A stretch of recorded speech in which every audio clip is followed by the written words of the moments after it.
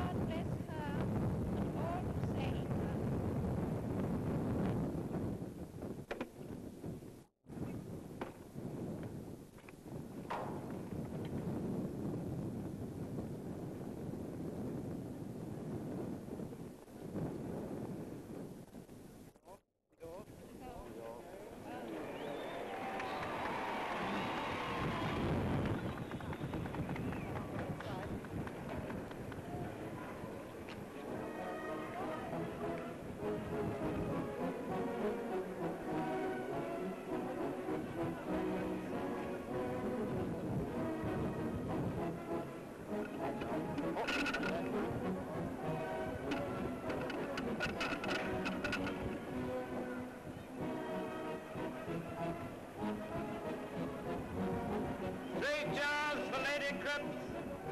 HMS Hercules.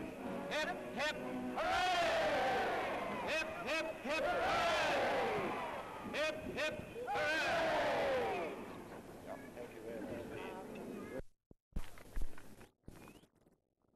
Friends, it's a very great uh, happiness and opportunity for me to be able on this occasion, when I'm present as the husband of Lady Cripps, to say a few words to you. I want, first of all, to congratulate you upon the fine record of the High Walker Yard during this war. You here share uh, throughout the world that great reputation for craftsmanship which the Tyneside has gained over a very long period of time. This yard has produced many fine ships, starting with HMS Malaya, a gift to the Royal Navy from the Federated Malay States, the construction of which was started in 1910. Then uh, followed, not long after, that uh, terrible period of trade depression which hit the northeast coast of England like a blizzard and brought with it all the tragedy and suffering that depressed and disgraced our country in the following years. In 1931, the late Sir Charles Craven then bold step of laying the keel uh, of a luxury liner, the Monarch of Bermuda, in this yard. That was really the rebirth of the activities of the yard, and it brought together once again a fine team of skilled craftsmen from whose labors we have benefited so greatly during the course of the last few years.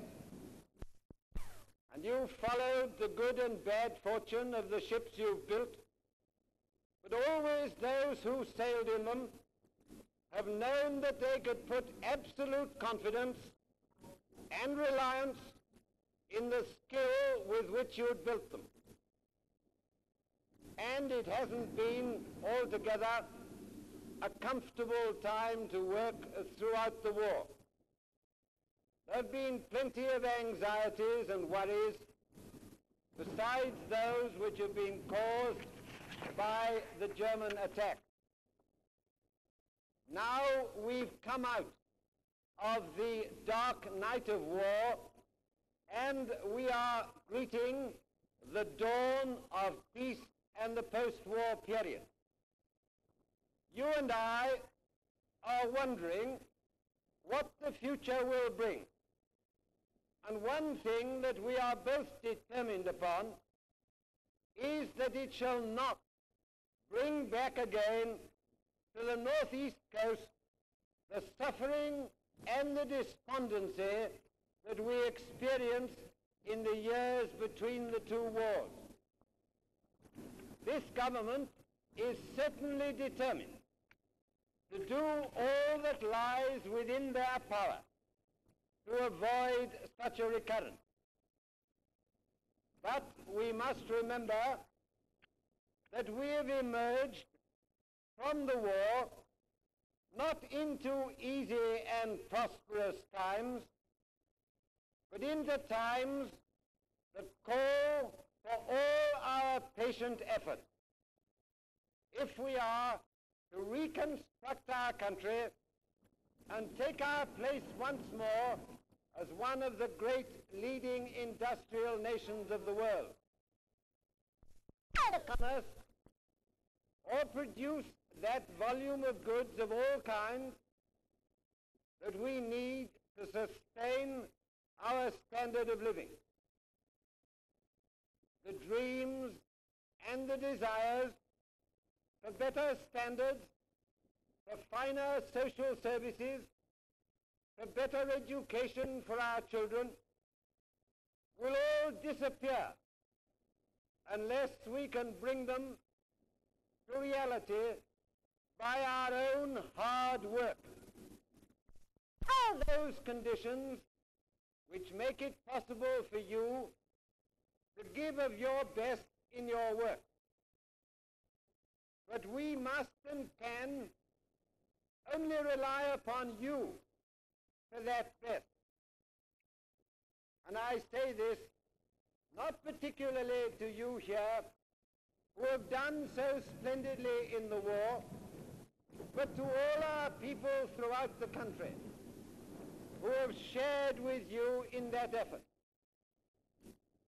Politicians and statesmen can create the right background, the right setting, but you are the actors and actresses who must play the part in this great drama of our industrial production.